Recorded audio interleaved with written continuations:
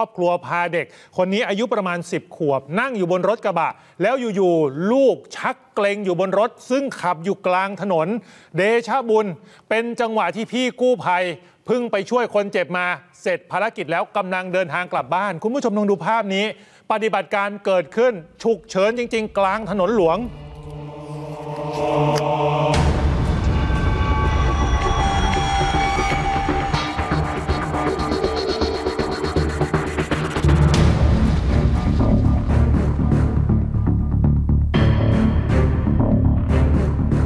คือชักเกรงอยู่ในรถแบบนั้นนะฮะ แล้วก็รีบจอด พามาส่งกู้ภัยอะกู้ภัยก็ช่วยเหลือน้อง10ขวบคนเจ็บไป แล้วก็ประสานกับรถกระบะของครอบครัวข้างหน้า ขยับเข้าไปหลบเลนซ้ายสุดเพื่อไม่ให้กีดขวางการจราจร ล่าสุดเด็กปลอดภัยนะคุณผู้ชม อยากให้ลองฟังพลเมืองดีตอนนั้นด้วยที่อยู่ในเหตุการณ์กำลังช่วยเด็กที่ชักเกรงแล้วก็เป็นพี่กู้ภัย ตอนนั้นเป็นวินาทีชีวิตจริง ๆ กลับจากธุระที่กรุงเทพครับกลับเส้นลังสิตนครนายกครับ ช่วงก่อนขึ้นสะพานข้ามฟิวเจอร์ ที่ว่าจะมุ่งหน้าไปนครนายกครับพอดีมีประชาชนขับรถมาข้างหลังในช่วงรถมันติดเขาบีบแต่บีบแต่มาตามทาง ผมก็มองพ่อเขาขี่รถเลยรถผมเขาพ่อเขากระจกลงกวักมือเรียก ผมก็เลยใช้สัญญาณไฟแล้วก็ลงไปถามจังหวะนั้นแม่เขาเปิดประตูมาแล้วอุ้มเด็กออกมาด้วยว่าอ่าลูกลูกเขาชักครับ ลูกเขาชักระหว่างมาเป็นเด็กสิบขวบครับ แต่แต่ตอนอุ้มลงรถหยุดชักแล้วนะครับ ผู้หญิงผู้ชายผู้ชายครับ ก็เลยแจ้งศูนย์วิทยุร่วมปทุมนะครับ ให้ให้จัดอาสามาสนับสนุนนะครับแล้วรู้ไหมว่าเด็กคนนี้เขามาจากป่วยมาหรือยังไงทีแรกอา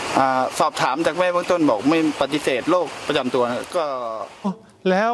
ครอบครัวเองคุณแม่ของเด็กเองก็บอกว่าไม่ได้นน้องไม่ได้เป็นโรคประจำตัวอะไร แต่อยู่ๆก็มีอาการชักเกรงขึ้นมา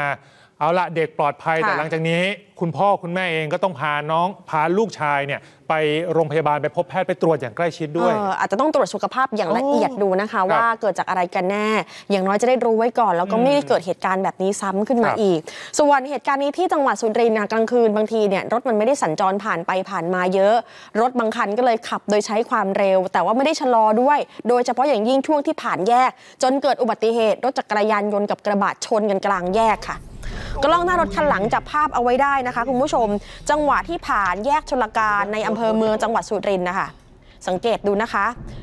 พอขับไปเรื่อย ๆ แล้ว รถกระบะคันที่นำหน้านะปุ๊บมีรถมอเตอร์ไซค์มา ชนจนเกิดอุบัติเหตุโอ้กลางแล้วกระบะไปเลยค่ะ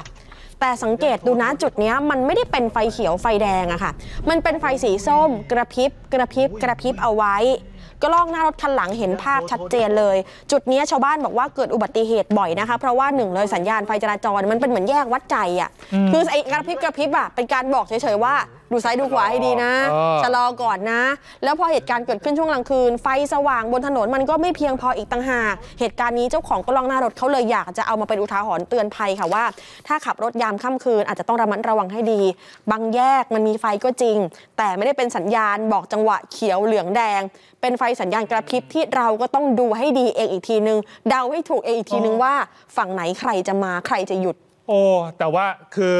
กลางคืนตามต่างจังหวัดเนี่ยบริเวณแยกเขาจะให้เปิดไฟกระพริบแบบนี้อยู่แล้วอืมเพราะว่าคือให้สังเกตชะลอรถแล้วก็ดูซ้ายดูขวาค่ะกันให้ดี จะไม่มีมาเปิดไฟเขียวไฟแดง เพราะว่าคือรถมันน้อยไงใช่เข้าใจอ๋อแต่ว่าจังหวะมันมาตรงกันเร็วทั้งคู่อะเลยเกิดอุบัติเหตุขึ้นมาเลยค่ะ